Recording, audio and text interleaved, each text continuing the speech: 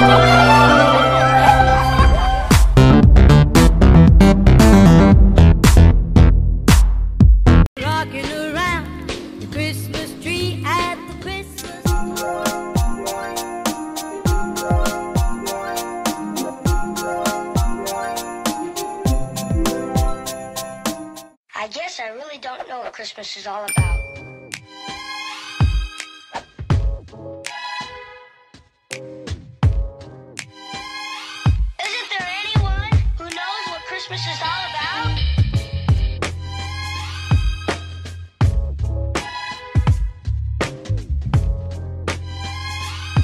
I can tell you what Christmas is all about.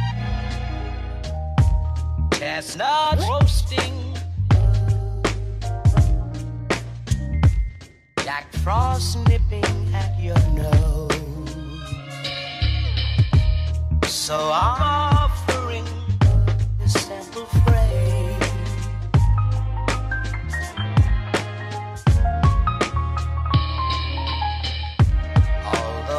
been said many times, many ways, Merry Christmas.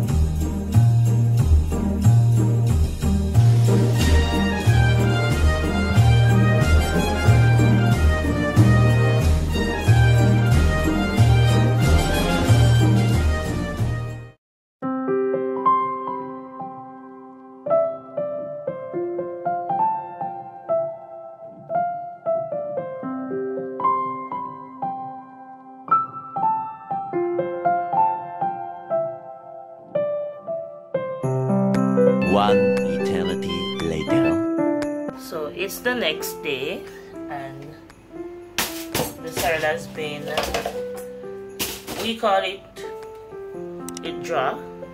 So it's been covered for 12 hours. So now I'm going to sweeten it and all I'm going to use is some granulated sugar, lime juice because ginger is already in it. Ginger and pimento seed is already in it, so let's go. So after you strain it, so you strain the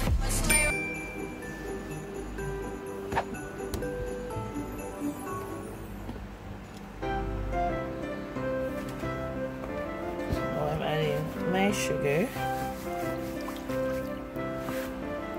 I added, I added some before, so that's why I'm not adding so much.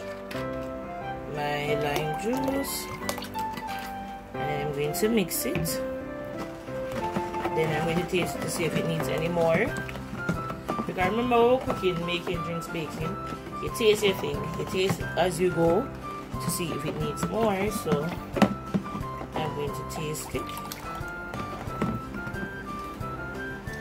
I'm also going to add some fruit wine and fruit wine has no liquor in it. So this is what the fruit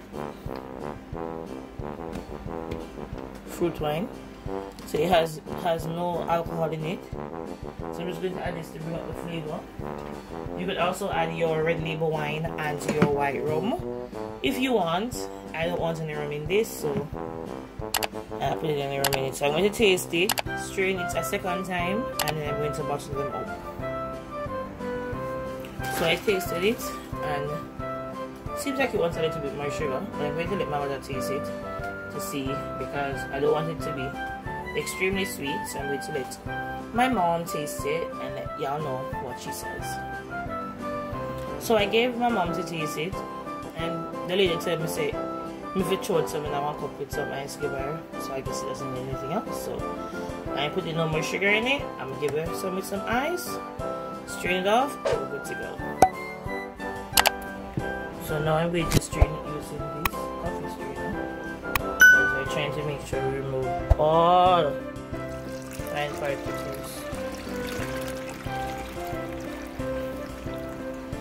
I don't think anybody wants to be drinking sorrel or anything drink for that fat for that matter and they're tasting any particles so I'm going to strain it using this coffee strainer you could also use a cheesecloth or if you have a regular fine strainer at home then you could use it. I don't have it so it's what I have. Will take some time but as long as it's perfect then it works for me.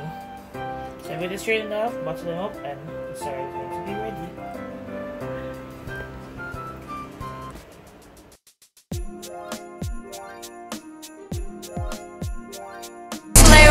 together